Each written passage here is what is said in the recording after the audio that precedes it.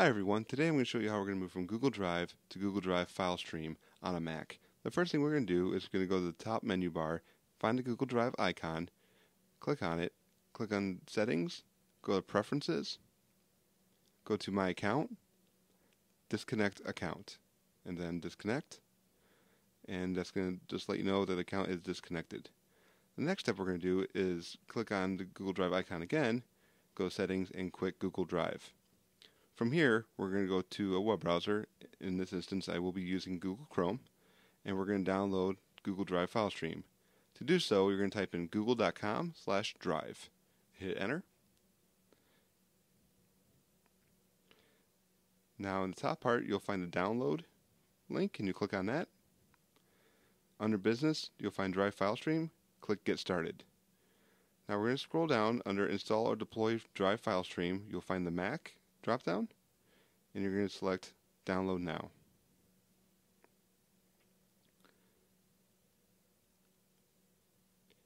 Currently downloading the Google Drive file stream DMG.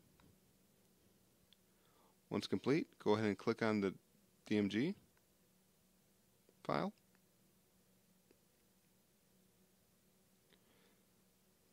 And then from here you can close out of your web browser.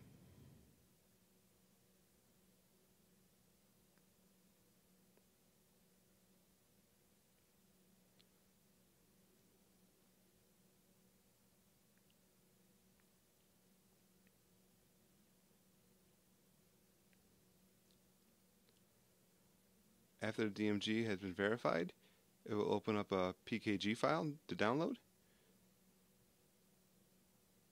What you're going to do, you're going to double click on the Google Drive file stream.pkg file. You're going to hit continue here.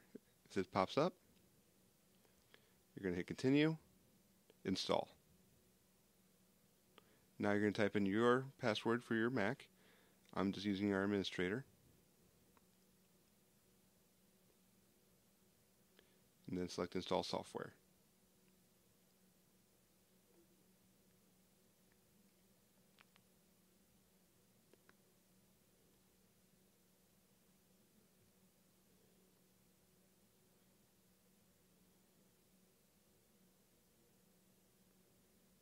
We're going to hit close. And we're going to X out there. Now from here, Google Drive file stream did successfully install.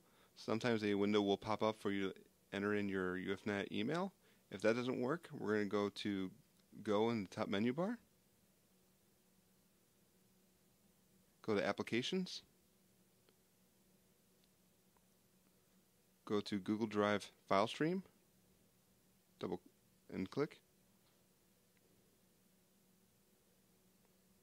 And that will prompt the sign in page to show up. Now from here, you're going to enter in your UFNet email.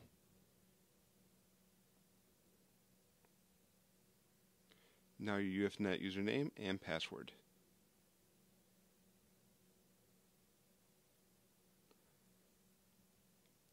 Now as the drive file stream is loading your files, now you can just close out of this um, pop-up window here, and this will show your Google Drive. It will be showed as a extra device on your Mac, and all your files should still be there. Now the next step we're going to do is make sure that we get rid of the old Google Drive file. So we're going to go to Applications, we're going to grab Google Drive from there and then move it to the trash. It will prompt a administrator password. So you'll go ahead and type in your password